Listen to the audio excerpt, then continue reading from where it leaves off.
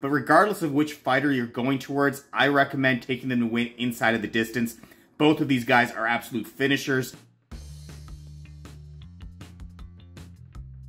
What's going on, guys? Rohit from Covers here with my favorite picks and predictions for the two title fights at UFC 274 on May the 7th. Should be an absolute banger of a card. Headline event is a lightweight title bout between Charles Oliveira and Justin Gaethje. Oliveira is the favorite at minus 175. Gaethje coming back at about plus 135. I am leaning towards the current title holder at the moment. Oliveira is on a 10 fight winning streak. Really impressive submission victory against Dustin Poirier in his last time out.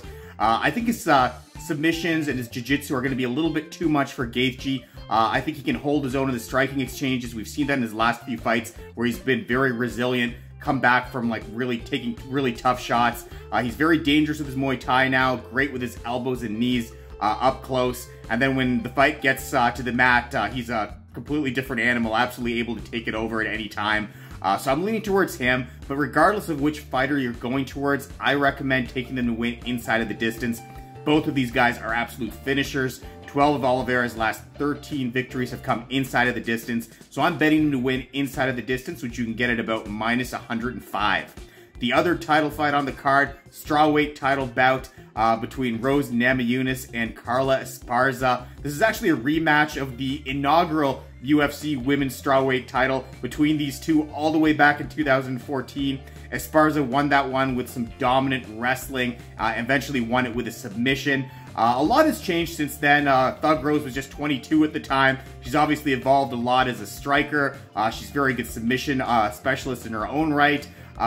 And she's the title holder right now. So, I mean, that's why she's the favorite. She opened at minus 170. She's now sitting at about minus 215.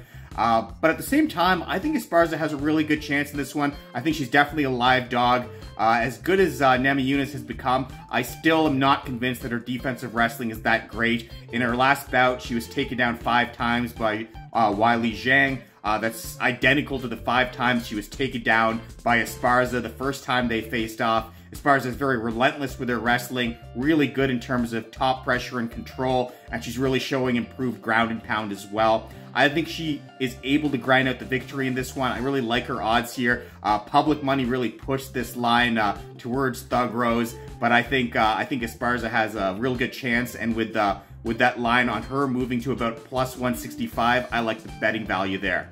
Those are my two picks for the title fights on this card. Uh, check out covers.com. We've got picks and previews for all the fights on the main card, as well as one really good fight on the prelims. Check it out at covers.com. And don't forget to hit that like button and subscribe.